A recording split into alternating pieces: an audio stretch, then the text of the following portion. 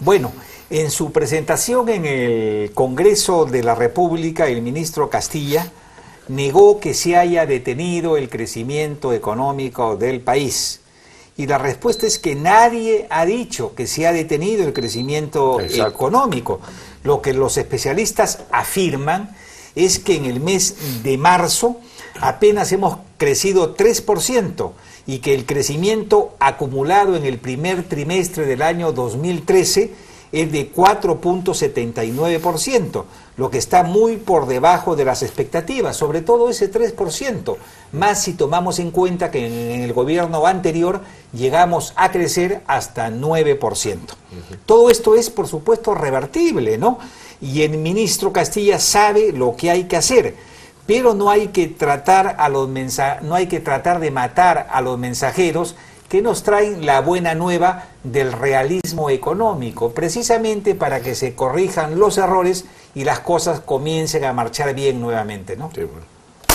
Ahora sí, ahora sí, ahora sí, Ahora sí, buena puntería, buena puntería.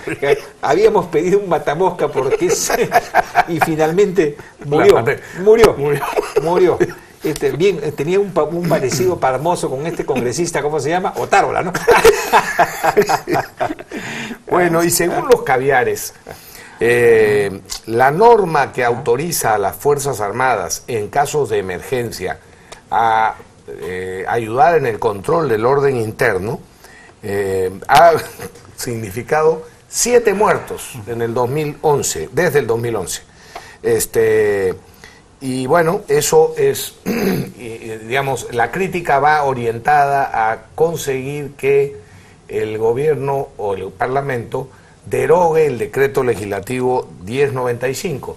Además de que en ese decreto no se genera eh, por primera vez esta posibilidad. Eso está establecido ya en las normas hace muchísimos años, que cuando la policía no se da abasto y declarado en emergencia, el gobierno, mediante decreto supremo, puede decidir encargarle el orden interno en determinado momento a las Fuerzas Armadas. Pero acusar a la fuerza típica de los caviares, acusar nacional e internacionalmente al gobierno actual y al gobierno del Perú en general, a haber eh, matado, asesinado a siete personas como si fuera culpa de los militares o policías, en lugar de reconocer que eran esos radicales los que provocaron la violencia que desgraciadamente originó su muerte. Bueno, y el, el rasudo, el sinvergüenza de Gregorio Santos se ha atrevido ¿no? de, a meterle una querella por difamación al ministro de Comercio Exterior por haber dicho que el daño que le ha hecho Gregorio Santos a Cajamarca es semejante, por supuesto, al que le hizo Sendero Luminoso en el Perú. Y lejos de asustarse, el ministro de Comercio, con estadísticas en la mano, está demostrando que Cajamarca, merced a la labor de Gregorio Santos, ahora ocupa por primera vez el segundo lugar en pobreza en todo el país.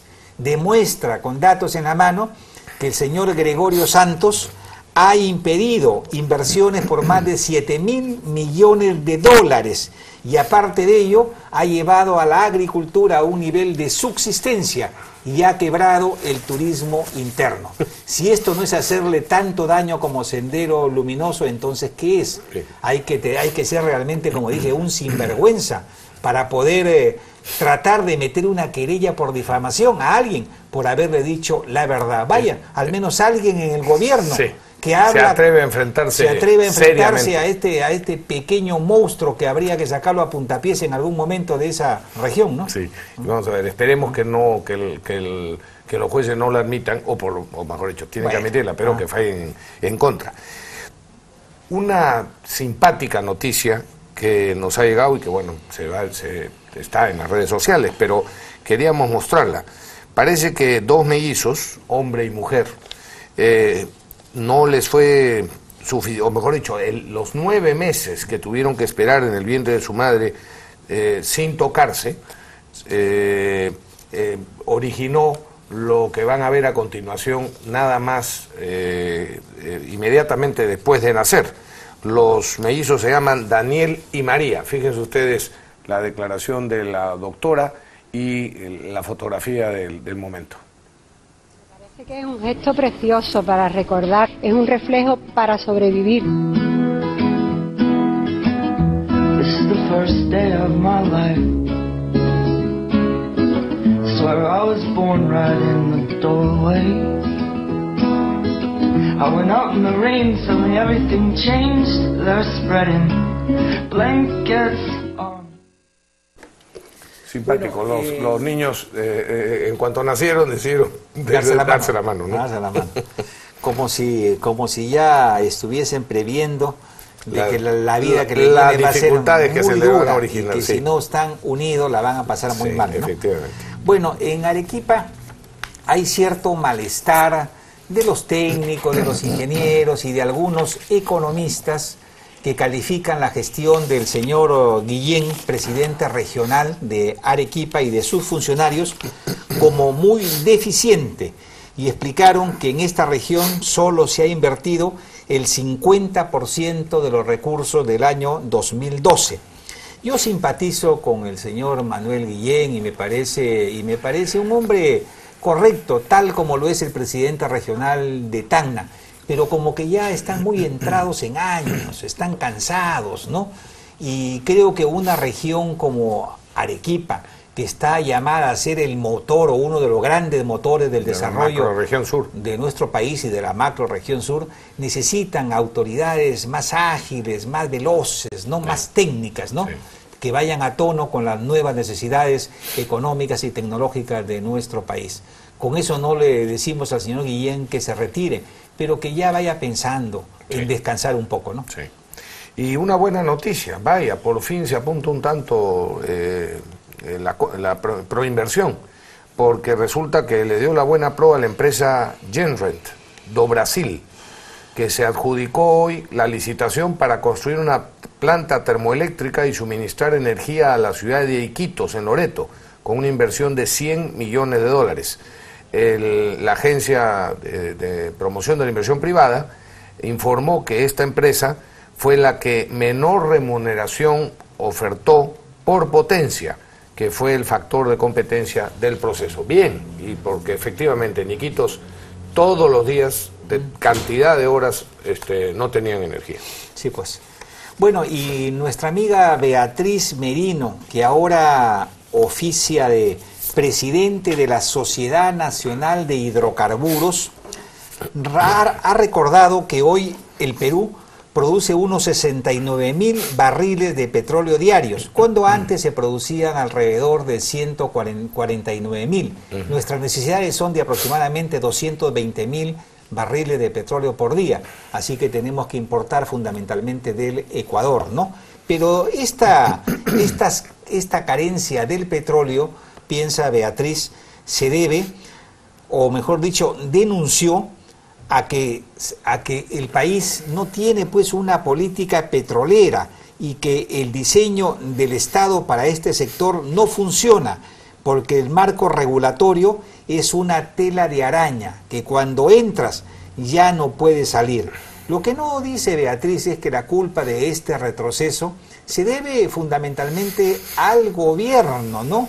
Y a, y a la famosa reforma del Estado que no tiene cuándo llegar y a esos incompetentes que ha nombrado tanto en Petro Perú como en otras instituciones. ¿no? Y gracias al actual, esto aunque suene conocido, yo creo que vale la pena repetirlo. Los rojos y los caviares eh, repiten una y otra vez lo que quieren que en el colectivo de la gente se, se convierta en un lugar común. Bueno, por tanto, las cosas reales, eh, no falsas, como sucede con ellos en algún caso, hay que repetirlas. Y por eso es bueno recordar que gracias al actual marco constitucional, a las reformas económicas del gobierno de Fujimori en los 90, a los tratados de libre comercio y a la promoción de inversiones durante los gobiernos de Toledo y de García, el Perú se convirtió en la cuarta economía de mayor crecimiento en el mundo. Sus exportaciones se multiplicaron por 6.5, pasando de 7 mil millones de dólares en el año 2000 a 45 mil millones de dólares para el 2012. La pobreza se redujo en siete años del 58.7% de la población al 27.8%, 30 puntos en siete años. Es decir, a un ritmo de 4.57% al año de reducción de pobreza. El gobierno actual acaba de dar eh, la cifra de, de 2%, 2%. o sea, menos de la mitad del ritmo de, de crecimiento de la pobreza que venía por años atrás. Según el INEI, del 2011 al 2012 el, ha disminuido en 2%, de manera que es un, no un logro del gobierno como lo ha querido presentar en los últimos días algunos ministros, sino en todo caso la muestra del fracaso que a pesar de la cantidad de miles de millones de soles que están destinando a lo que ellos consideran que van a sacar de la pobreza a la gente, ahí está la disminución del ritmo de decrecimiento de la pobreza. Muy bien, ingeniero, vamos a un corte. Vamos.